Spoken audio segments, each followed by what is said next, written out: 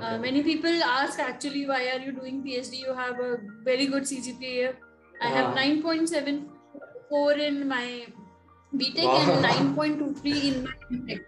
So, okay. uh, like a lot of people ask, like, you know, why are you doing? And job is uh, not something like which is really difficult for me because I have been from yeah, exactly. like uh, BTEC. My project was in machine learning. Now, right now, I'm doing my PhD somewhere related to it. So, but as a this is something like really worth it. एक बहुत ही conceptualize हो जाता है कि जब हम किसी relative को बोलते हैं कि ये PhD करिए तो पहला क्वेश्चन यही होता है उनको क्यों नौकरी नहीं मिली हाँ, that's how I feel कि जो हमारे इंडियन माइंड्स हैं। वो इस रिसर्च फ़ील्ड में नहीं आ पाते रिसर्च फ़ील्ड में नहीं आ पाते तो आप इंडस्ट्री में उसको इम्प्लीमेंट कैसे करोगे जैसे इंडस्ट्री में हाँ। अगर कोई एल्गोरिथम इम्प्लीमेंट होना है उसका। Some component is dependent on research so you know you name any country जिसका बहुत ज़्यादा for example Japan they have a very strong research component and Yeah. Germany. So if there, if you're doing a PhD or a postdoc, people will be looking at you like, oh, big man. हाँ हाँ Here is like uh, ये एक बहुत ही चीज़ है जो काफ़ी सारे PhD और भी फेस कर रहे होंगे हाँ um, but I would like really like to address all the youth and say that no, this field is like worth it. PhD is worth it. worth it. Yeah, exactly.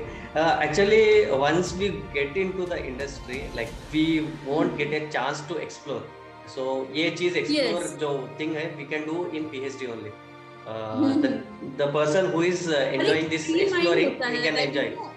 हाँ free mind होता है कि ठीक है आपकी ये field है इसमें हाँ। आप देखिए आप क्या कर सकते हो तो एक वो रिसर्च फ्रीडम जिसे कहते हैं वो हाँ हाँ होता है हाँ हाँ exactly exactly.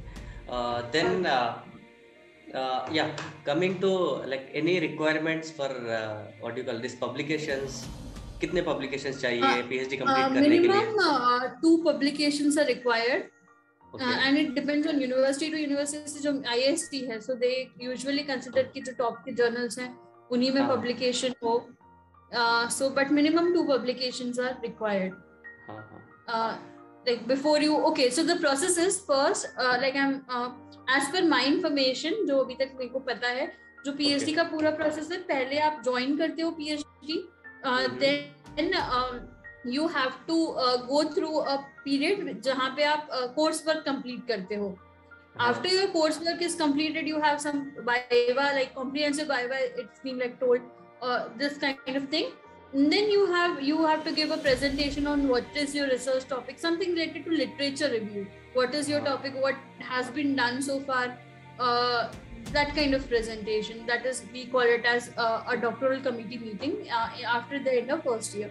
Uh, then from second year onwards you have to give a uh, like yearly or uh, uh, like Yeah, uh, six monthly presentation uh, depending on your dc and like doctoral committee and guide uh, so after you have finished your phd and you have got two publications uh, there's a step of pre-synopsis in Mhm. which you know you um, uh, tell people about your complete research and all.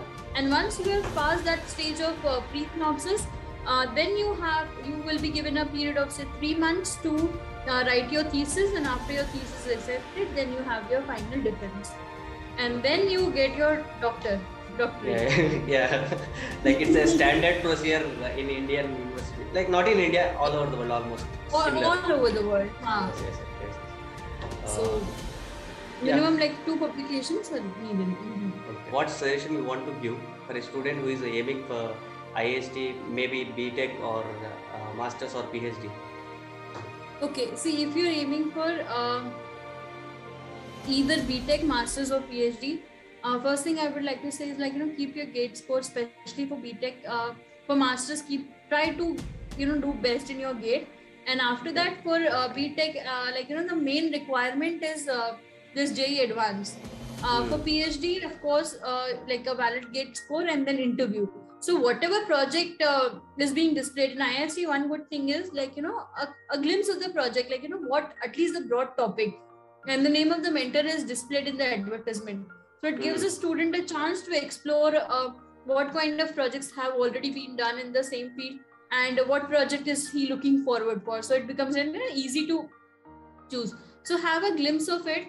Uh, keep your mathematics strong for the option that uh, uh, any kind of uh, objective based examination if it happens because maths in phd yeah. it, it is one of the very uh, necessity thing yes, uh, and uh, then depending on the project whatever your project is on then you can prepare accordingly.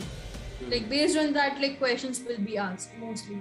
Based on your previous work and uh, whatever like in the field uh, your, the project is coming up.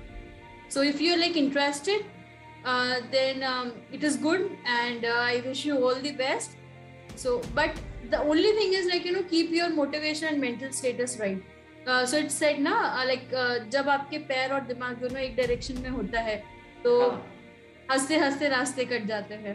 हाँ, हाँ, हाँ, तो अगर आप वही करना चाहते हैं और तो आप उसी पे फोकस करिए और जो भी आपकी जर्नी रहेगी पीएचडी पे आईएएसटी में या कहीं और उसको एंजॉय कीजिए। आप मतलब don't like a lot of people take PhD as a burden so आप उसको एंजॉय कीजिए।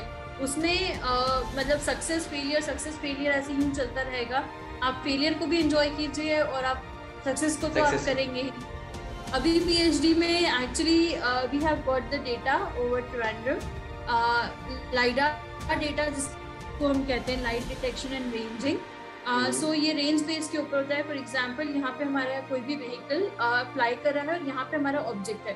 So here there is an instrument that will be striking light beams on to it and the reflected light beams will be going back to the instrument so it will be मतलब वो एक point capture करता है। तो lidar एक तरह का point cloud data होता है। अगर हम इंडियन uh, टेरेन में देखें अगर आप south India specially the vegetated part south India हो गया अपना नॉर्थ uh, ईस्ट हो गया आप आप देखेंगे तो 50 परसेंट घर आप सोच सकते हैं जिनके ऊपर पेड़ है।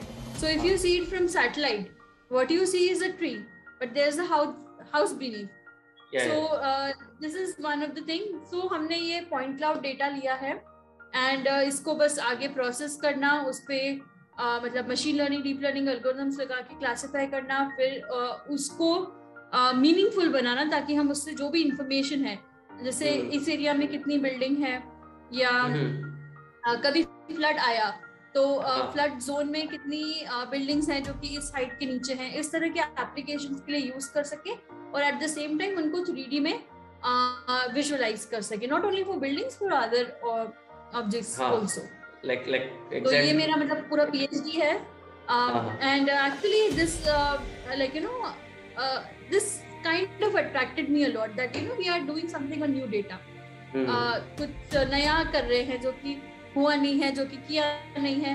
सो so, ये भी एक बहुत मेजर रीजन था that I again grabbed in here and plus like living condition as well as the faculty here वो हाँ. बहुत अच्छी है go together even Dev devashish also said the same like yeah yeah, yeah. like very comfortable yeah yeah there are like multiple parameters and also another main advantage is like you know minimum we have three years and four years so even जो आपके faculty members होते हैं वो भी आपको एक तरह से पुश करते हैं या आपको कॉपरेट uh, करते हैं कि आप as soon as possible in best possible way आप उसको कंप्लीट कर पाए। Give an example I S C Bangalore में a lot of my friends word हुई जो कि मतलब उनका जो कोर्स वर्क होता है course work they take it for one year one complete year and यहाँ मोस्टली सब लोग ट्राई करते हैं फैकल्टी मतलब सब students are there who will be taking it for like you know whole one year but in my case like और in most of the cases आप six month में आप सारे कोर्स पर